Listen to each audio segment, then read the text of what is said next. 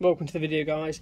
Today we're going to be having a look at this 400 watt Erbauer orbital sander and the model is the ER0400 as you can see there. It's saying it's got anti-vibration. Um, cyclonic is to do with the dust extraction which can go into a little, um, it's a hard case I believe instead of a bag which I'm hoping will be a bit better because the bags are quite hard to empty sometimes.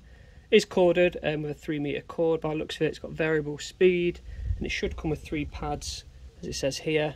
Um, obviously the, the little extraction where it's all going to and a little adapter. Um, so mid-range budget this is then um, obviously you've got your really basic like your Mac Allister's which we do often have a look at little things like that or Titan. Um, but to date we've gone a little bit more this was £60 so let's open it up. As I say then a bit more bit higher up. This is kind of like mid-level, I'd say. So nothing like your uh, your Makitas, your DeWalts. It's not up there, but I think it should be mid-range. So we'll see what we get in the bag. Well, in the box. Sorry, because it comes in a bag. In the box, as you can see. Nothing else in the box though. So get rid of that.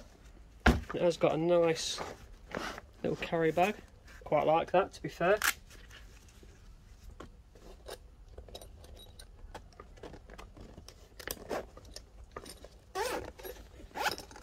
Think I'll end up cutting that string off because that's a bit of a pain. Open it up then. We have got the boring bits. We've got some pads. Should have a quick look actually. Let's see if they're mixed or if they're all the same. It says we get three. We've got a 240, oh, a 120, and a 60. So that's quite nice as a little start off, just to get three different um, types of grip. I've got the dust little collection compartment here. Like I say, it is solid, which I think is better than the bag because the bags can be a right pain to try and empty. Um, hopefully this will actually collect something. Then we've got the adapter there. I think this is actually for if you like attach it to some sort of extraction system or your hoover. Um, I'm not likely to do that, so I'll test it with this. Got the manual. To be honest, no one really looks at them. And I've just noticed a um, mistake on my behalf. Sorry, it's the ERO 400, not ER0 400. And then we've got the sander itself. So then, first impressions out the box, out the bag. It's got a nice weight to it. Um, it's got a nice look to it. We've got the variable speed wheel on the side. We can go from one right the way up to max. Um, on the box, between 5,000 and 14,000. I don't know if that's RPM, rotations per minute. I could have that wrong, but it basically spins around that many times per minute. Um, obviously, it will depend on what setting you've got it on there. So let's attach a pad. What we'll do, we'll go in the middle for the 120. Obviously, it's not plugged in while I'm messing around doing this. trying to get this on camera for you guys so you can see. It's hook and loops. It's basically like Velcro sort of thing. So I'm get this on, line it up with the dots, with the holes, that's basically how um, the dust gets sucked through. So if you cover them up, it probably will do something, but not as much. If it, basically, if you have it like that, um, not as much dust to be able to suck through. So if we try and line them up as we can, as you can hear, it is going on nice and easy. So that's on. Like that, we'll attach the collection compartment. Let's have another quick look at this. So we've got a little button at the back, push that and I'm sure then we can just tip it out. Well, we're hoping, because that'll be nice and easy, um, instead of having to take it all to bits. Feels feels quite strong and sturdy. It's got a nice click in when you give it a push. So I'm assuming we'll go this way round. No, we don't. We go upside down. We've got this little notch here that we're going to just push on. It's got a, a rubber seal as well there. Not sure if you can pick that up to make it nice and secure. Oh, right, that is very secure. I'm hoping this does work because I really don't plan on taking that off. I think I'll just pop it open, tip it out and carry on. I don't want to keep taking that on and off because that is nice and snug on there. So I think it's only fair now to give it a quick test. Like I say, we've gone for the 120. Um, going to put this down to three, so somewhere in the middle. And what I've done, got two bits of wood. Um, I'm not sure if you could pick it up, so it's very rough on the top. Not sure if you could pick that up. If not, we've got a little painted piece here. Um, we'll see how quickly we can get that off. Just realised I didn't show you the on and off switch.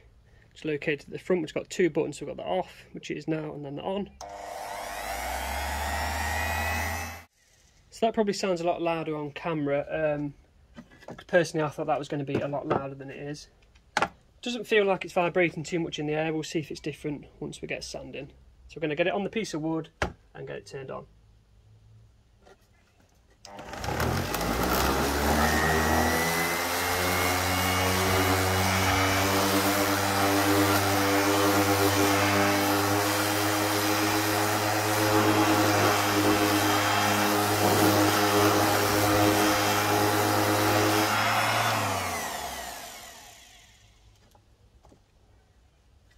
That already, it is a very rough looking piece of wood anyway. But that is actually really, compared to this, I don't actually want to rub my thumb along that because I will get splinters. But this is actually really smooth already after what a few seconds that was. Show you quickly now on the painted piece, hopefully you'll be able to see like the effects a bit better. So we'll go again. Remember guys, we're in on actual uh, speed number three,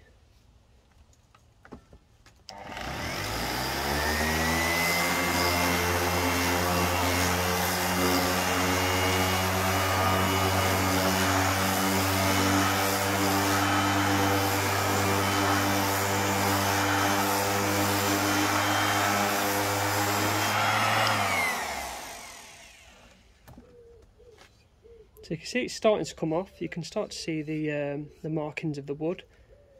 So what I'm going to do, um, I'm going to turn it up and see if that gets it, rid of it quicker. And then if not, I'll um, give you an example with a different grit um, disc on. So we're going on to max now.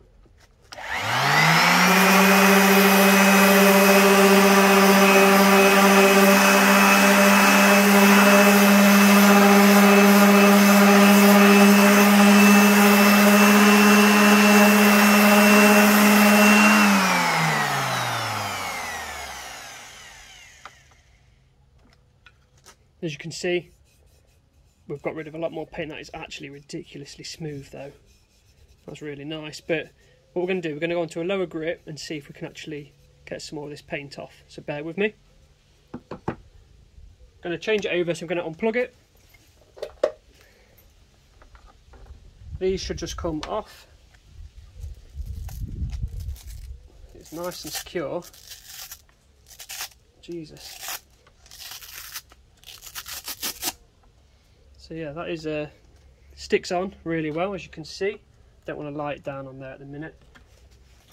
Right, so we're jumping down to the 60 grit.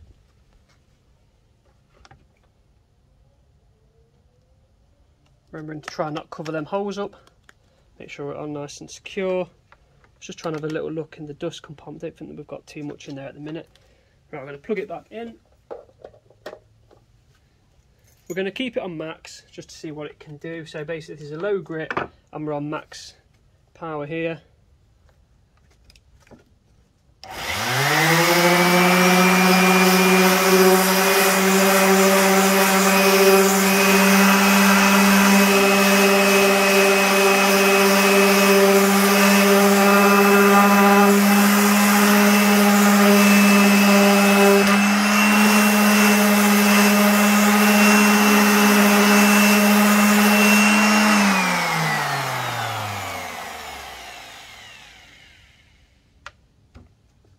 Right, as you can see, I've got rid of a lot more of that paint. We've got a few bits left still, but a bit longer doing that and we'd soon have it off.